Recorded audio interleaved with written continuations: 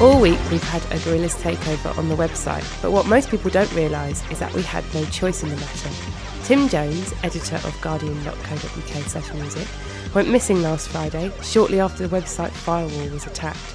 The Gorillaz literally took over. Anyway, I made a few calls and managed to track Murdoc down in his hideaway at Plastic Beach. After lengthy negotiations, I got him to tell me where Tim was in return for an interview on this very Music Weekly podcast. Apparently, they'd locked him in the stationery cupboard. So, Tim, how was it? Not good, Rosie. Wasn't good. I did not enjoy it. I could hear you and David slagging me off while I was uh, locked in there, saying how much fun it was with uh, Murdoc in charge instead of me. And then uh, had to listen to you pumping out Paolo Nutini on the stereo all week. That's what you do, isn't it, when I'm not there? yes, that's exactly what we do. Well, anyway, I've got some good news for you. In order for me to find out where you were, I had to make a deal with Murdoc. He told me which stationery cupboard you were in, and in return, he'd get an interview on Music Weekly. And uh, he wants you to look after it. Great. Look Okay. forward to that. Well, he's on he's on line one now.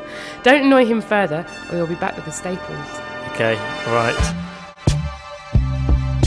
Gorillas in the boss dog, planet of the apes. Okay, Murdoc, I'm prepared to forgive you for all of this kidnapping malarkey, Hmm, Yeah. but you got to give me some good quotes in return. So let's let's talk about your new album, Plastic Beach. Uh, Snoop Dogg's on the title track. I didn't know dogs and monkeys like working together. Um, Snoop is unveiling the show here. He's the uh, the boss dog, you know, main host, the introductory MC, if you will.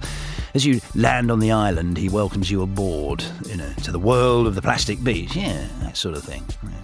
Snoop's the is the granddaddy, isn't he?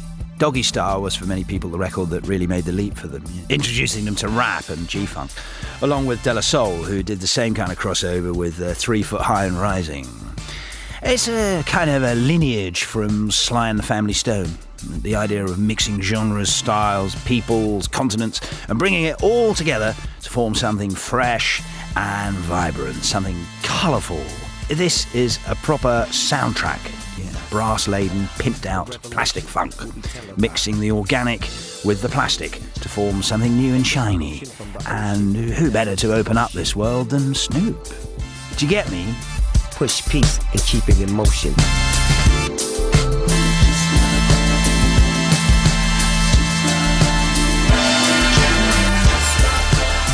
You've worked with British rappers as well. On the track White Flag, you've got Kano and Bashy. I spotted Kano when Damon worked with him on a track called London Town. And uh, I like to keep my ear to the ground.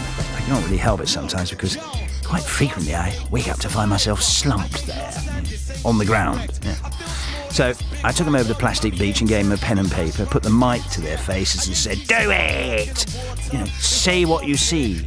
And they describe the scene as if they just hit town like a lonely cowboy or a whirlwind, a, a grimy wind blowing dance hall music over Arabic orchestras, just like that. I think, though, that Kano and Bashy nailed the optimism and potential of Plastic Beach just right in their little skit. Probably my favourite track on the album, Well, apart from all the others. On the D-Lo, I don't know if it's green, but it's green though. On the other side of the fence, bite to the ends. Look, no vents, no stress, no rent, no Let's talk about Stylo, which we featured on Singles Club recently, as I'm sure you well know. This time you're working with the legendary Bobby Womack and Mos Def.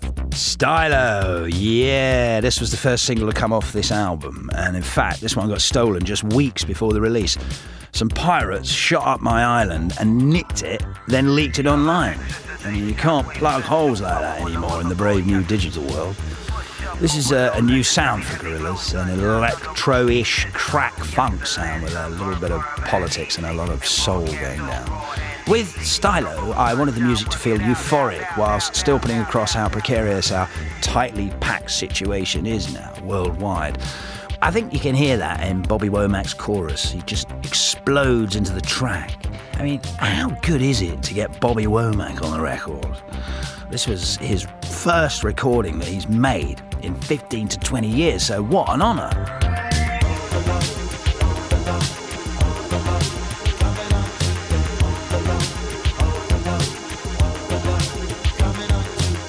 On Sweepstakes, which also features Mos Def, is that the hypnotic brass ensemble providing the backing?